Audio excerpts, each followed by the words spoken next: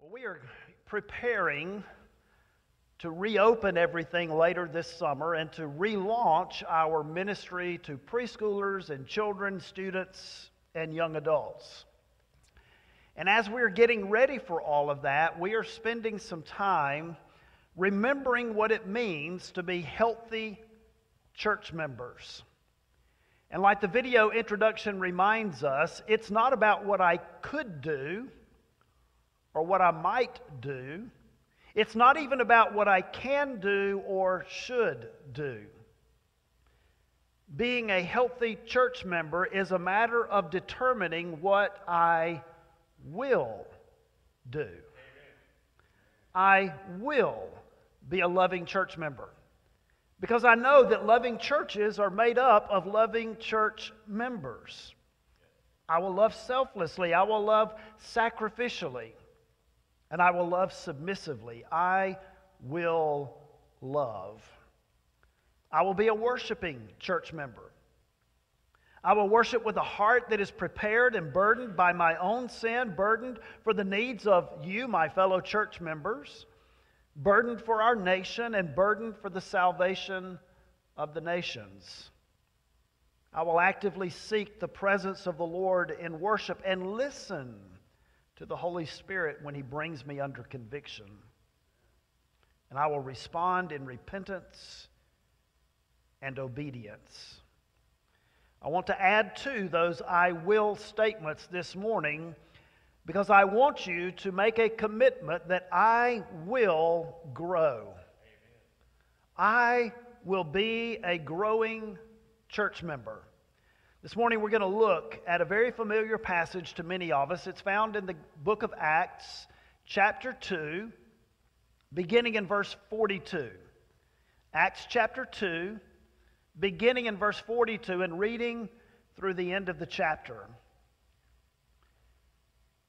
Dr. Luke tells us, and they devoted themselves to the apostles' teaching and the fellowship, to the breaking of bread and the prayers.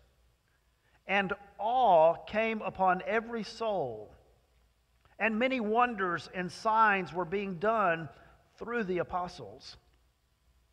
And all who believed were together and had all things in common, and they were selling their possessions and belongings and distributing the proceeds to all as any had need. And day by day, attending the temple together and breaking bread in their homes, they received their food with glad and generous hearts, praising God and having favor with all the people. And I love this last statement. And the Lord added to their number day by day those who were being saved. Acts chapter 2 begins with the day of Pentecost. By the time we reach the end of the chapter, the day of Pentecost has come to a close.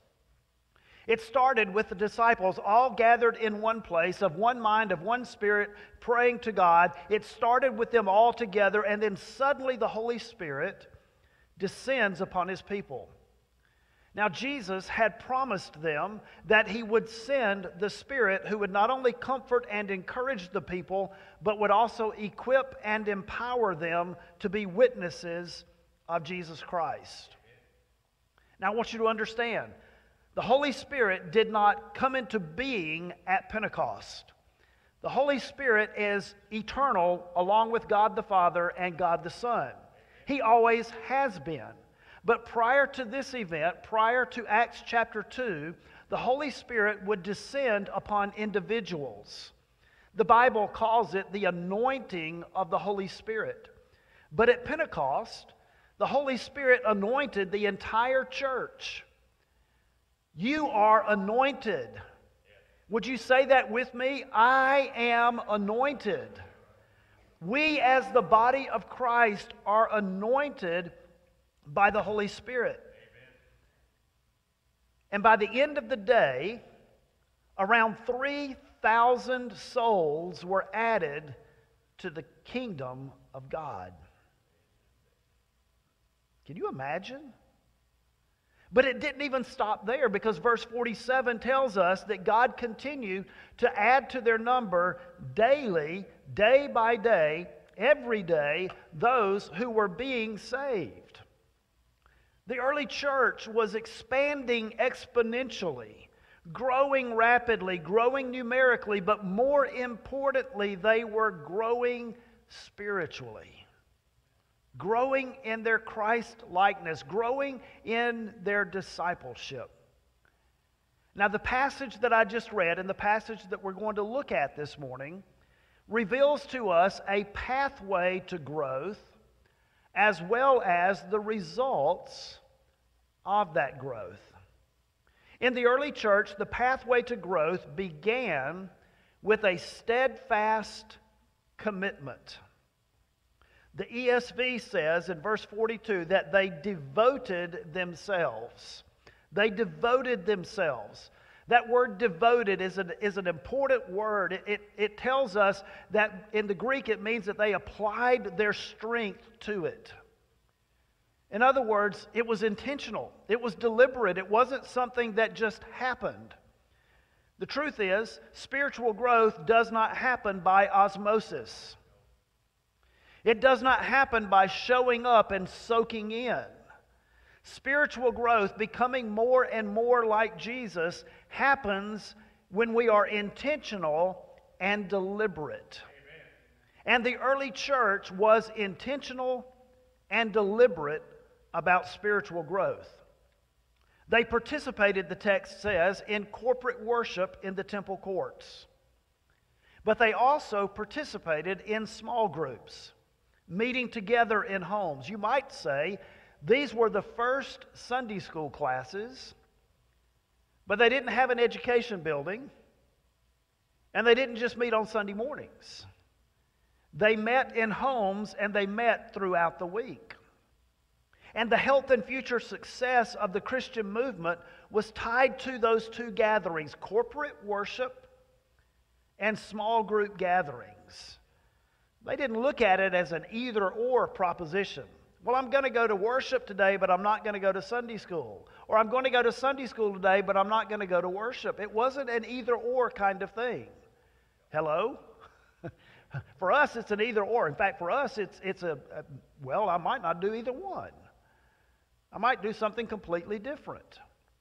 It wasn't an either or proposition, it was both and. They steadfastly committed themselves to worshiping together and growing together.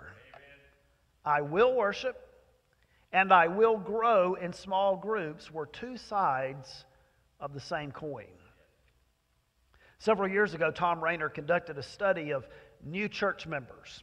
He basically he, he did a, a poll among pastors and he asked them to look back over the previous five years at everyone who had become a part of the church. And he asked them to look at that and say, okay, now, how many of those are still with you five years later? And of those, how many are involved in worship only and how many are involved in a small group?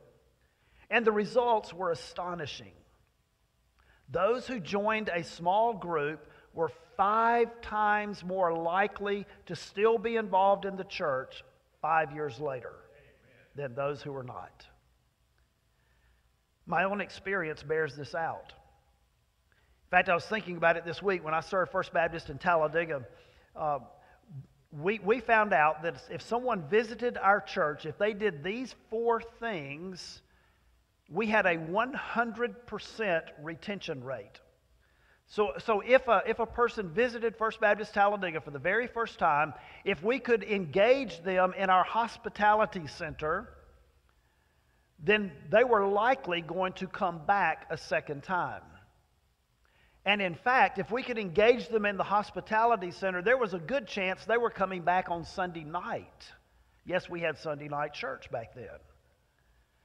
And if they would come back on Sunday night, if we could get them to go out to eat with us after church at the Mexican restaurant where we went every Sunday night, in fact, we, we, we used to, it started out, we would go to different people's homes every Sunday night, and then we started going to different restaurants, and then we got tired of one church member saying, Where are we going to eat tonight? And so we just said, We're going to the Mexican restaurant.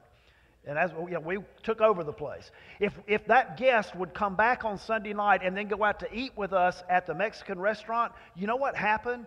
They were going to join First Baptist Church. It wasn't a question of will they, it's a question of when will they.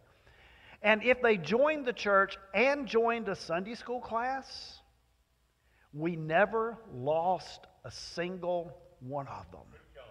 That's how important it is to be connected. And it doesn't have to be a Sunday school class, but to be connected in some small group where there is fellowship and where there is accountability and where there is growth that takes place. That is a strong pathway to growth. Amen. Being assimilated into the life of the church and being a part of a small group. But listen, it's not enough just to join a group. In fact, we have a policy here at Huffman that if you are a church member, you are automatically a part of a small group. I've never really understood that. Like putting somebody's name on a roll in the class makes them a part of the group. No, it's not enough just to be a part of the group. It's not enough to just join a group. You will not be a growing church member unless you also participate Amen. in the group. So, how did the early church do this? Well, it started with Bible study. They devoted themselves to the apostles' teaching. Now remember, they actually had the apostles with them. So when it says they devoted themselves to the apostles' teaching, it was literally the apostles who were teaching. They got to hear Peter preach, they got to hear John teach. These guys had been with Jesus. They had listened as Jesus took the Old Testament scriptures and applied them to the kingdom of God. And now they are passing that information on to the next generation of believers. And do you know what has happened in every generation since? One generation has passed on the truth once and all delivered to the saints, to the next generation, and then to the next generation, and to the next generation until it has finally come to us and we have the privilege and the responsibility of passing it on to the next generation. Listen, the most important thing you can do in your small group is to study the Word of God. Not so that you can be more knowledgeable. Sometimes I think we've got so much Bible knowledge that we don't know what to do with it. It's not that we can be more knowledgeable, but so that we can know God more so that we can encounter God, so that the Holy Spirit can bring us under conviction and change our hearts. That's why the very first thing I asked you to do when I became your pastor two summers ago was to spend five days a week reading one chapter of the Scripture every day. And we even laid out a plan for you to be able to do that. It's a very doable and easy plan to follow. And yes, I want you to have more Bible knowledge, but more importantly, I want you to come under conviction. I want you to repent of sin, to claim God's promises, to change bad attitudes, to obey God's commands, and to follow biblical examples. Hebrews chapter 4, verse 12 reminds us that the Word of God is living and active, sharper than any two edged sword, piercing to the division of soul and of spirit, of joints and of marrow, and discerning the thoughts and the intentions of the heart. Dr. Brad Waggoner, former professor at Southern Seminary, discovered in his research that daily engagement with the Bible was the number one determining factor for spiritual growth. Daily engagement with the Word of God is the single most important thing that any of us can do in terms of growing to become more like Jesus. And when we do that on a daily basis, then we're better prepared when we come into our groups for us to be able to grow together as we engage in Bible study. The early church devoted themselves to gathering in small groups to learn the apostles' teaching, Bible study, and to share in fellowship. You and I need community. I think one of the things that we have discovered, especially over the past year, is we were isolated and cut off and alone. And I know for the introverts that was a wonderful thing, but the truth of the matter is we were created to live in community. Amen. We were created to be together. We need community. The word in the Greek is koinonia. And contrary to Southern Baptist belief, that does not mean fried chicken or casseroles. Although fried chicken and casseroles are good things. But the word koinonia means more than just getting together, it means sharing the life of the Spirit with one another. And true biblical fellowship takes place best in some kind of small group setting where we know one another and we are known by one another, where we can find encouragement and even accountability. And listen, a small group can be almost anything in a church. Our, our praise team, our worship leadership team gathers in this space every morning while most of you are in Sunday school classes. What they have is koinonia among that group. There is a special bond among each of them as they share life with each other, preparing to lead us in worship. Small groups are important. But the early church also broke bread together in their small group meetings. Can I tell you this is proof that all of the early believers were Baptists? They had potluck. Everybody brought something. I don't know if everybody brought something or not. I don't know how they did it. But what they did is they gathered together and they broke bread together. It met a very practical need. You got to eat, right? But there was also a spiritual need that was there because not only did they enjoy a meal, but as they closed everything out, they observed the Lord's Supper, remembering what Christ had done for them. Church, I want you to think back. For those of you who have been here for a minute, I want you to think back to when Huffman Baptist Church was a thriving church. And if you're new to Huffman, think back to the church that you came from when it was a thriving church. And if your memory is like mine, when I remember thriving churches, I'm always reminded of small groups, we called them Sunday school classes most of the time, where the members spent time with one another outside of Sundays. When Melanie and I were newlyweds, we were members of Calvary Baptist Church in Dothan. Our Sunday school class was the center of our social lives. In fact, everybody that we knew in Dothan, because neither of us grew up there, we moved there as young adults, everybody that we knew of our own age was in our Sunday school class. And our out of church gatherings were not limited to planned socials or fellowships. The truth of the matter is that we spent a lot of time together. We hung out with our friends in that class weekly, sometimes even daily. We went to the mall together. We did all kinds of stuff together.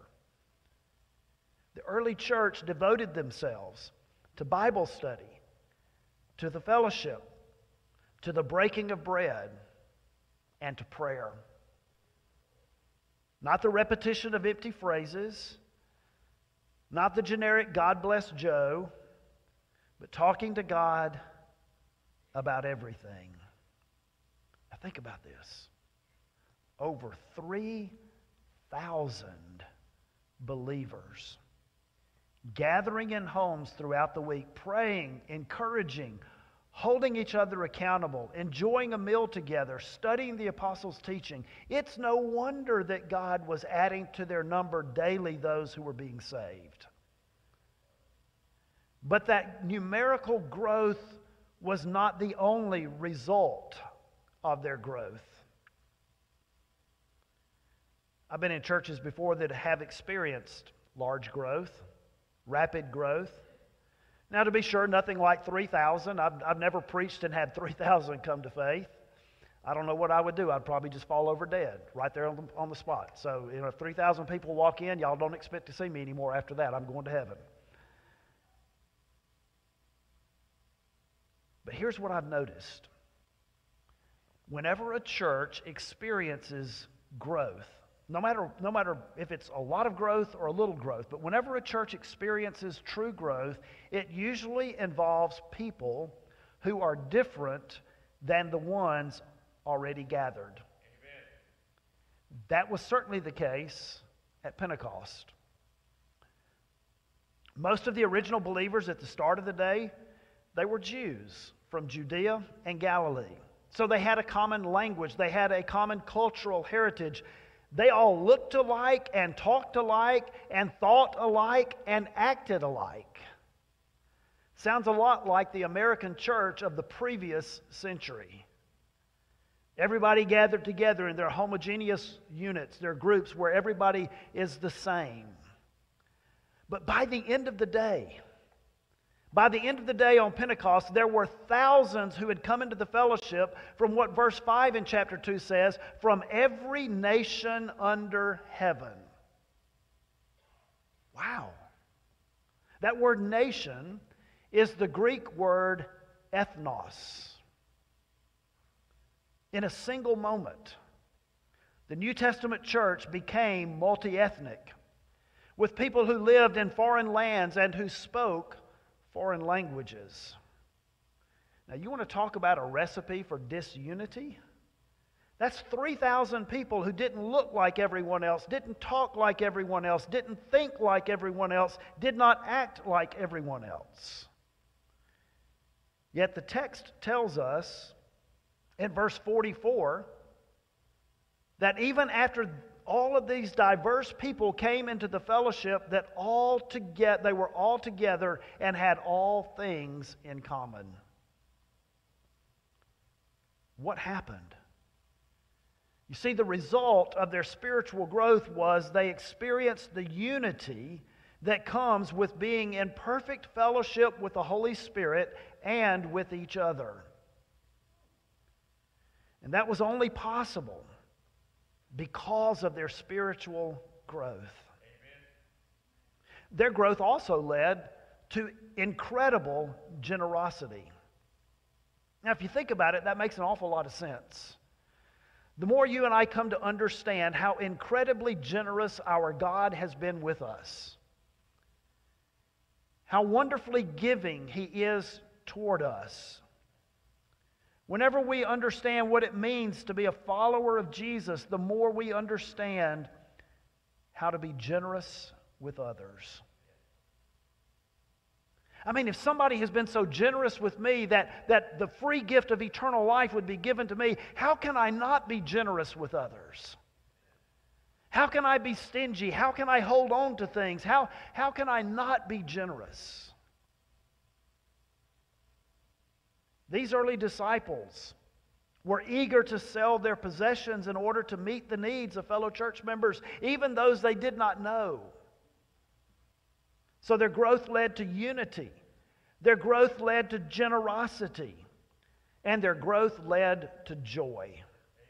Not only did they have generous hearts, the, verse 46 says that they had glad hearts, happy hearts.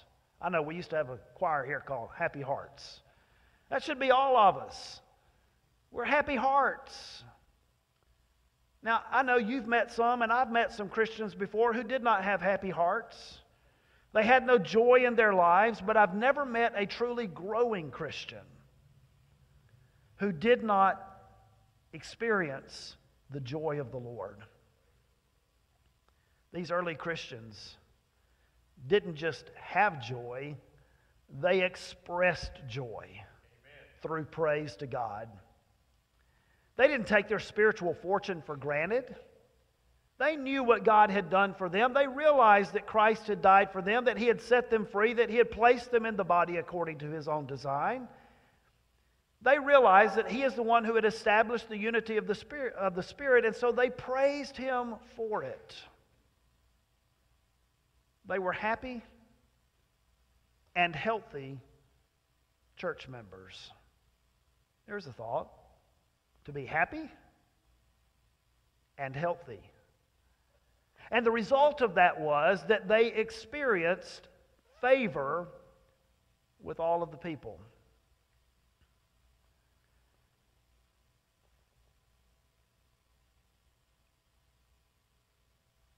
I think sometimes, in fact, just thinking back to the Southern Baptist Convention this past week, a lot of times people hear about us Baptists and they think, well, they're always fighting with each other. And truthfully, throughout our history as a denomination, we, in fact, there was a book written many years ago. I read it when I was in seminary come, called The Battling Baptists, because we went from one controversy to the other, to the other, to the other. And, and I know churches that are like that. They go from one controversy to another, one fight to another, and they're known as the Battling Baptist. And when you're known that way, you don't have favor with the people. I mean, come join our dysfunctional family. Come be a part of our food fight. Come be a part of how we hate one another. But that's not what happened in the early church, and praise God, that's not what happens here. They were happy and healthy, and as a result, they had favor with all the people. But it wasn't just that they were happy and healthy, they also had the power of the Spirit in their lives. And it showed. In fact, Luke says that wonders and signs were taking place. Simply put, what that means is that God was doing things in their midst that could not be explained in human terms. Church, can I tell you that when we are growing, we are happy and healthy and filled with the power of the Spirit? And when that happens, people notice. And they see what God is doing.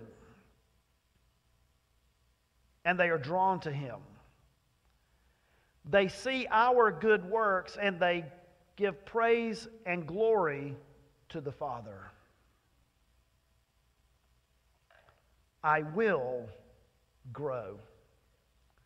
And I will grow in a group with other believers. Several years ago, I was having a conversation with a young lady who um, was a part of a church, but she didn't really want to be a part of that church. And so I was having a conversation with her, and, and she, was, she was beginning to grow in her faith. And I was having a conversation with her, and I said, So help me understand why you will come to worship and sit in the back of the room and then leave as soon as the service is over and you won't come and be a part of a small group. Help, help me understand what's going on. And she began to explain that, that her mother in law was also a member of the church. And to know her mother in law, you would understand why she was a little hesitant to get fully involved in the life of the church. Her mother in law was, um, she ruled the family, she ruled the church, she really did have a good heart, but she just, she just had her way of doing things, and there were some inconsistencies in her life that the daughter in law said, if that's what it means, I don't want to be a part of that class. And so I simply said to her, Don't let someone else's sin keep you from growing as a believer. Now, through the years, I've encountered church members who say, Well, I used to be a part of such and such class, but you know, I had a bad business dealing with someone in the class, or I didn't like something they put on social media in the class, or, or, or, or. And I simply say this don't let someone else's sin keep you from growing the way you need to grow. And to those of us who are in a group, don't let your sin keep someone else from growing. Because the truth is, the longer we are walking with Jesus and the more we are growing to become more like Him, those inconsistencies in our lives that tend to turn other people off should be going away as we become more and more like Jesus. I will grow. I will love. I will worship. I will grow. Will you? Again, don't let someone else's sin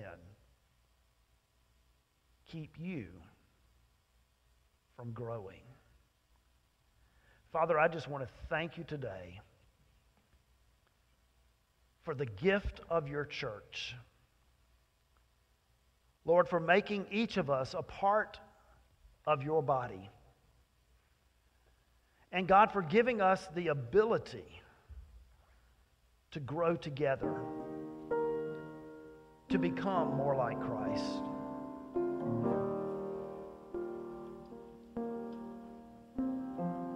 Father, I pray today that if there's someone either in the room or watching online who's never placed his or her faith in Jesus Christ, God, I pray that they would come under the conviction of your Holy Spirit in this moment.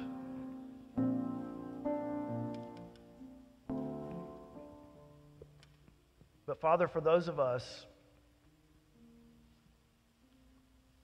who've been a part of your church for a while, or maybe we've stopped growing like we should. Maybe we've just kind of fallen into the habit of church.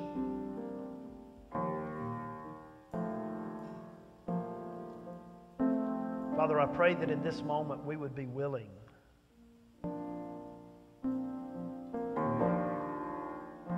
to embrace your design for us to become more like Jesus. That we would be like the early church.